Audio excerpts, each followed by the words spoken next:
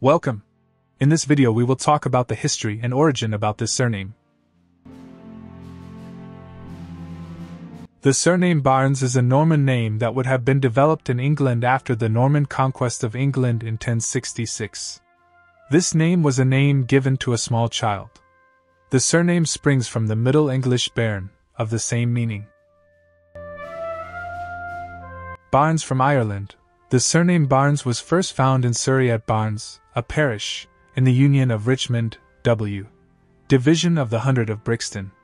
This parish was originally listed as Berne in the Domesday Book of 1086.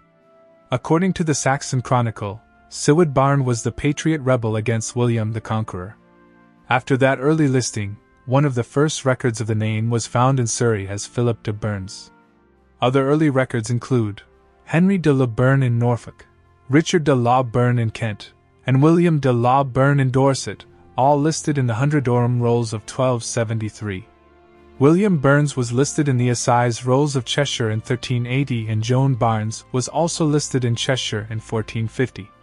Early Scottish sources revealed that the name was from Barnes in the parish of Premnay, Aberdeenshire, where the first record was found in the 15th century as Robert of Bernis, a goldsmith in 1465. This surname may have several different spelling variations, such as the following.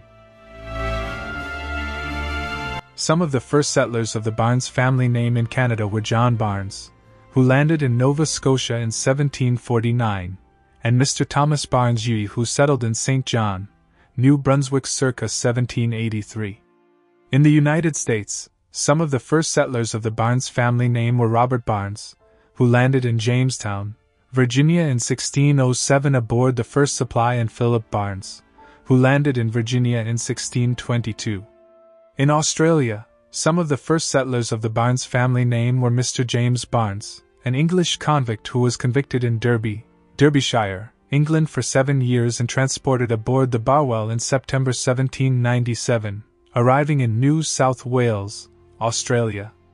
In New Zealand, some of the first settlers of the Barnes family name were James Barnes, who landed in Wellington, New Zealand in 1840, and Richard A. Barnes, who also landed in Wellington, New Zealand in 1840 aboard the ship Martha Ridgway.